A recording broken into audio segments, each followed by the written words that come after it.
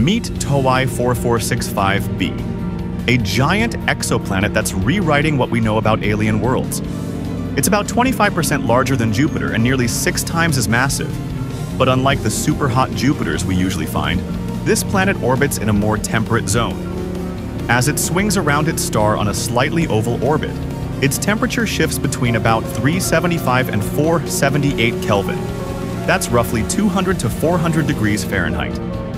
That's still too hot for life as we know it, but it's unusual. A giant dense world that isn't roasting at thousands of degrees. Why does it matter? Studying planets like TOI 4465b helps scientists understand how gas giants form, how their orbits evolve, and where they fit between the extremes of hot Jupiters and cold giants. Every new discovery fills in a missing piece of the puzzle of how planetary systems, maybe even our own, come to be.